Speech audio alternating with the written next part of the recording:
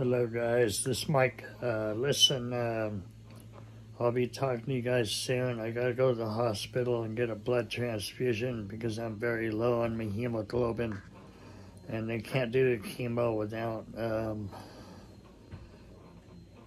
having the blood transfusion because it has to be, up, uh, be above a 7 in order to do my blood transfusion.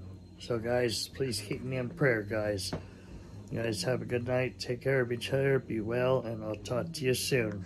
This is Mike from Nitro Speed. I'm out of here. See ya.